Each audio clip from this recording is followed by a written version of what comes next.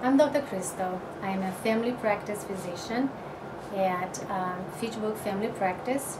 I have been here with UMass for two years after I finished residency with UMass two years ago. Um, what I like with uh, family physician is the possibility, the family practice is the possibility of seeing patients from newborn um, to um, elderly um, patients I have right now a range from 0 to 97 years old. Um, I, I, also like um, the women's health. Um, I also like to tell you that I'm a Brazilian and I speak uh, Spanish and Portuguese. And I'm currently accepting new patients and if you need me, you can call my office 978-345-1911.